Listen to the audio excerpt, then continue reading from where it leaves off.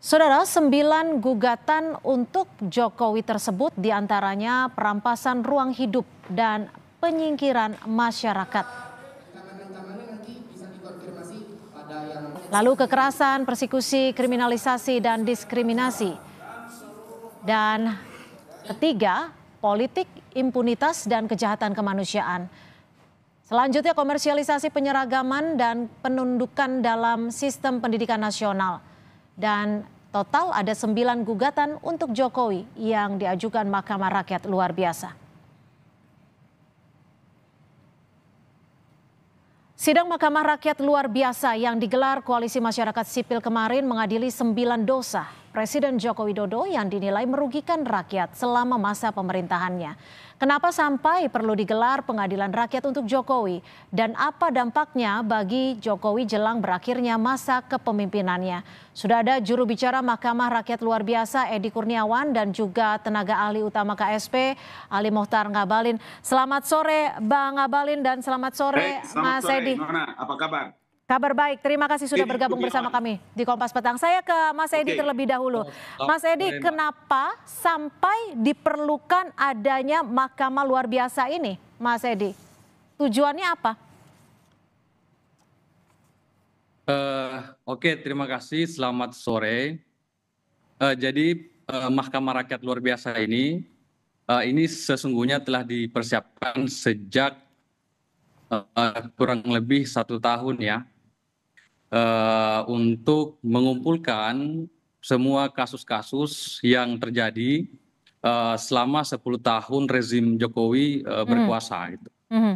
pemilihan 10 ini dan eh, para penggugat dan kasus-kasus yang diungkapkan kebenarannya melalui Mahkamah Rakyat ini tentu eh, kasus-kasus yang sesungguhnya itu sudah eh, lama terjadi ya ada yang eh, bertahun-tahun puluhan tahun dan ada yang baru terjadi yang selama 10 tahun pemerintahan Jokowi itu tidak eh, sanggup diselesaikan gitu sehingga eh, rakyat ya memilih untuk berkumpul untuk menyelesaikan masalah sendiri dan meminta pertanggungjawaban Presiden Jokowi eh, terkait 10 isu tersebut gitu. Oke, Yang kedua, eh, jadi kasus-kasus ini pernah dilakukan upaya-upaya mekanisme formal secara kenegaraan ya. Mhm. Ada sudah pernah menggugat sampai ke Mahkamah Agung dan menang, itu tidak bisa dieksekusi. Misalkan kasus di Kendeng ya sebagai penggugat, ada juga yang eh, menggugat di pengadilan atau yang Baik. dikriminalisasi kalah tapi baik. warga belum mendapatkan keadilan gitu. Oke, Sehingga ini Mahkamah Rakyat. Eh, Bang Abalin melihat gerakan sipil ini respon KSP seperti apa? Iya, bagi kami biasa-biasa saja. Ini kan juga satu bentuk uh, ekspresi dari mungkin ya namanya juga uh, mahasiswa ya. Tapi saya sayang sekali kenapa Bukan mahasiswa, Eh, Bang. apa ini? Ini rakyat. ada beberapa elemen masyarakat. Iya, Kak, di di di UI apa di Depok? Nah, Diadakannya di UI, tapi yang yang yang hadir yang hadir sebagai hakim disebutnya ada aktivis HAM, ada juga Iya. mantan pegawai KPK dan lain sebagainya. kenapa kenapa tidak terlalu apa confident untuk UI yang melakukan mahkamah itu kemudian memberikan gugatan sebetulnya itu yang paling pokok ketika melibatkan orang-orang lain yang patah hati yang kecewa yang kalah pemilu macam-macam berarti orang punya penilaian tidak bagus karena jangan anda lupa loh eh, profil ratingnya Pak Jokowi dari hasil survei terakhir itu mencapai 72 persen loh. Rakyat Mm-mm. mana yang Edi dan teman-teman maksudkan? Kenapa kalian bawa itu manusia-manusia yang patah hati, otak miring, sakit hati semua ikut di situ? Hmm. Kalian bilang rakyat itu rakyat yang mana? Rakyat yang mana yang kamu orang maksudkan? Kalau kasus-kasus apa yang kau sebut itu datang kemarin nih, ini ada di KSP sampai sekarang ini. Mana yang kau bilang bahwa masalahnya Oke. dihadapi dengan Mas Edi Itu. silakan dijawab. Ini eh, bagian dari mereka yang patah hati. Anda terima dengan Coba statement tersebut? tahu. Ya, eh, itu bisa dicek ya dari sembilan penggugat dan saksi dan ahli yang kita hadirkan dan hakim-hakim ya yang dihadirkan itu itu uh, punya kapabilitas. Tapi yang uh, yang paling penting adalah kami sangat menyayangkan. Hakim-hakim siapa yang angkat? Sekolah hakim mana? Legal standing apa kamu orang pakai? Mahkamah apa itu? Mahkamah abal-abal mahkamah. Jadi ya, jadi ya uh, kami ya. sangat menyayangkan panggilan kepada Presiden Jokowi dan partai-partai uh, ketua DPR sudah kami layangkan secara resmi melalui pos dan siapa kamu orang mau panggil panggil presiden Edi kami kau punya di mana kau punya jalan pikiran sama rakyat Seandainya, dari mana kau punya legal standing panggil presiden, panggil pimpinan partai, ngaur aja. Dari mana Edi? Apa legal standingnya? Mahkamah apa itu? Mahkamah abal-abal kau panggil-panggil orang dengan seenak perutmu. Negara ini memang kamu orang punya negeri sendiri. Ada urusan apa panggil-panggil orang? Mau disidang, mahkamah apa itu Edi? Oke, mungkin bisa Wah, dijelaskan, dijelaskan oleh Mas Edi. Kita kita berikan waktu sebentar, Bang Abalin. Oke, jadi Mahkamah Rakyat ini sangat keliru kalau dikatakan ini barisan sakit hati.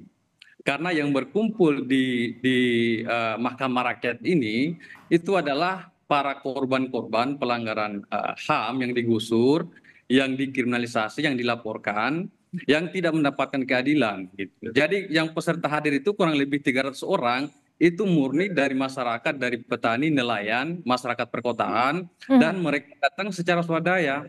Hmm. Jadi nggak ada hubungannya dengan pilpres, dengan pemilu, dengan okay. sakit hati. Mas Edi, uh, sebentar Bang Abalin. Mas Edi ini kan ada sembilan poin yang diserahkan. Sudah uh, diserahkan saat ini uh, salinannya? Diserahkan ke mana? Diserahkan agar hmm, agar agar Presiden Jokowi tahu. Kamu mungkin? bawa ke mana? Eh dengar dulu. Hmm. Mahkamah rakyat ini, rakyat mana yang kau bikin dari mana kau punya aturan bikin ini mahkamah rakyat? Astagfirullah, Edi, Edi. Kau bilang sama teman-teman itu, rakyat mana? Kasih tunjuk. Kau besok, eh besok nih, besok hari apa? Besok hari Rabu, hari Kamis deh. Jumat, bawa datang kemari sini supaya kita kasih tahu mana yang kau bilang rakyat yang tidak mendapatkan itu keadilannya, mahkamah mana yang Jangan kau bikin mahkamah sendiri. Oke, mahkamah jadi Bang Abalin akan membuka pintu untuk hari Jumat untuk teman-teman dari Mahkamah Rakyat untuk datang ke sana, Bang Abalin. Hei, dengar dulu, jangan dulu potong-potong kata-kata saya. Dari mana kau dapat legal standing? Kenapa kau buat Mahkamah Rakyat di luar dari aturan Republik ini? Dari mana rakyat? Siapa yang kau maksudkan? Gampang-gampang aja kau panggil-panggil orang untuk datang di Mahkamah Rakyat. Edi, aduh bahaya nih generasi kita ini. Gitu loh. Oke, Bang Abalin.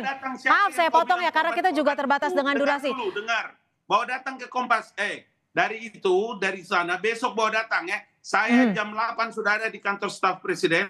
Mana itu yang mereka yang bilang tidak mendapatkan keadilan itu? Di mana siapa Besok hari mereka? Kamis atau hari Jumat tadi, Bang Abalin? Mau hari Kamis, mau hari Jumat saya tunggu. Oke, Bang Bawa Mas Edi akan tiba Jangan atau akan datang membuka ataupun diterima oleh Bang Abalin langsung? Mahkamah abal-abal. Silakan kita beri waktu dulu kepada Mas Edi Bang Abalin. Bang Abalin sudah diberikan uh, pintu sebesar-besarnya oleh KSP untuk berbicara secara langsung, untuk menyampaikan aspirasinya. Besok atau Jumat pagi Bang Abalin sudah membuka pintu. Apakah teman-teman akan hadir? Uh, Oke, okay. sekarang logikanya saya balik dalam dalam negara demokrasi ini saya pikir uh, Mahkamah Rakyat ini kan adalah sebuah bentuk kritik terhadap pemerintahan. Itu sah-sah saja secara demokrasi. Dan kenapa kami memilih uh, bentuk Mahkamah Rakyat? Pertanyaannya saya balik. Saya, kami tantang apakah presiden mau tidak dipanggil oleh rakyat? Karena presiden ah, itu kan siapa kalian? Siapa tahan dulu Bang Abalin. tahan dulu Bang Abalin. silakan Mas Edi. Ditahan dulu Bang Abalin. Kita berikan Edi. waktu dan sekarang Mahkamah Rakyat itu yang berkumpul adalah warga negara menjadi korban pelanggaran HAM atas nama demokrasi dan konstitusi memanggil Jokowi untuk mempertanggungjawabkan semua kebijakan-kebijakannya. Oke, itu cukup. Oke, saya yang memberikan timing Bang, Bang Abalin. Sebentar. Nah, ini adalah rakyat memanggil presiden. Memanggil eh, presidennya uh, ke mana, Mas Edi? Coba ke Mahkamah Rakyat. Tanya dia baik-baik itu, coba supaya dia mengerti. Memanggil presidennya ya. ke mana nih? Dia akan ditemui ke mana? Memanggil ke forum Mahkamah Rakyat luar biasa atas nama ya demokrasi. Ya Allah ya Rabbi. Kau okay. itu betul-betul. Oke, okay. uh, eh, Bang Abalin, uh, diklaim ini adalah suara dari rakyat yang memang menyatakan tidak merasa tidak mendapatkan keadilan. Disebutnya juga uh, sembilan dosa atau nawa dosa uh, Presiden Jokowi. Ini Pak Jokowi tidak respon langsung, kenapa?